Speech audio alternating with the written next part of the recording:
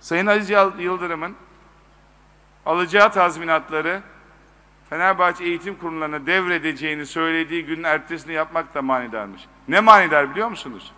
Sayın Aziz Yıldırım ve ekibinin üniversite kuracağım diye yola çıkıp ben 80 tane iş adamına mektup yazdım. Yazıklar olsun bir kişi yardım etmedi deyip biz bunu karşılayacağız deyip bir kuruş para ayırmaması.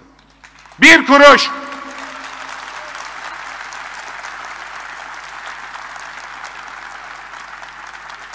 Hangisi daha manidar?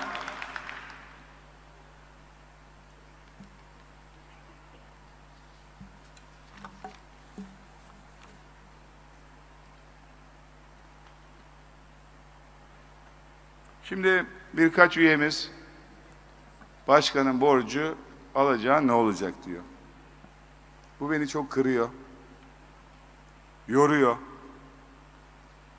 Dört senedir bir kez dahi benim ağzımdan şöyle yaptık, böyle yaptık, bu kadar kaynak yarattık. Şahsım cebimden şöyle yap, lafını duymadınız. Duymayacaksınız da. Tamam mı?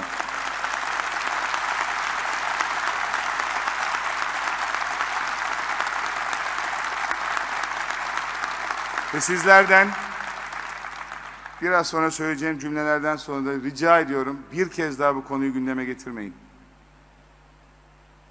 Benim bir kuruş alacağım yoktur kulüpten.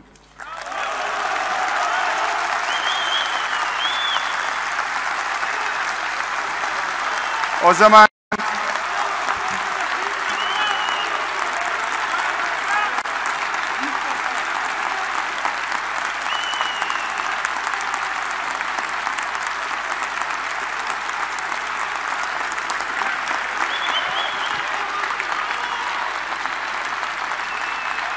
Ben ben bir gün çıkıp bir gün çıkıp kulübün bana şöyle borcu var dersem beni ihraç edin.